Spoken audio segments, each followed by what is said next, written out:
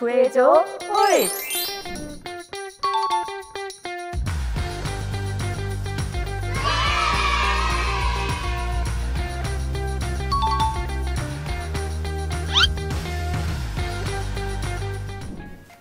안녕하세요. 저희는 아이사랑 놀이터를 담당하고 있는 최주영, 신동수 보육 전문 요원입니다. 지금부터 아이사랑 놀이터를 소개해 드릴 텐데요. 이곳에서 어떤 놀이를 할 수 있는지 또 어떻게 이용할 수 있는지 설명을 좀 부탁드려도 될까요?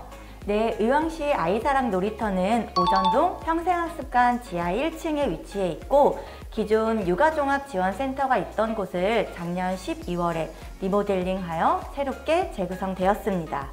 이곳에는 우리 주변에 항상 존재하지만 주목하지 않았던 빛을 테마로 놀이 공간이 마련되어 있습니다. 일상에서 볼 수 있는 익숙한 자료들이 빛과 만나 다양한 실험을 할 수 있는 창의적인 공간입니다.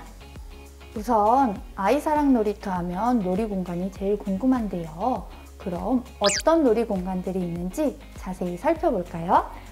네, 연령별로 놀이터 1, 놀이터 2, 놀이터 3으로 나뉘어져 있습니다. 놀이터 1 공간은 18개월부터 4세까지의 아이들이 이용 가능합니다. 아이들은 이곳에서 기름이 섞인 유토 위에 도구가 지나가는 흔적을 남길 수 있고 OHP 기기를 활용해 빛에 따라 일상의 사물이 어떻게 달라지는지 경험할 수 있습니다.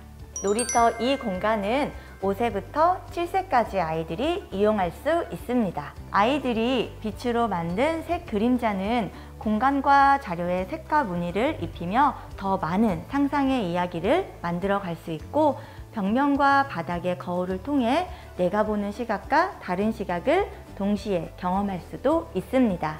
와, 아이들이 정말 집에 가기 싫겠는데요? 그럼 마지막으로 놀이터 3 공간에 대해서도 소개해 주시겠어요? 네, 놀이터 3 공간은 6세부터 7세까지의 아이들이 이용 가능하고 놀이지도사 선생님이 오시는 날은 푸드앤 오감놀이가 진행되고 있습니다. 정말 아이사랑 놀이터는 아이들을 사랑하는 마음이 가득 담긴 공간이네요.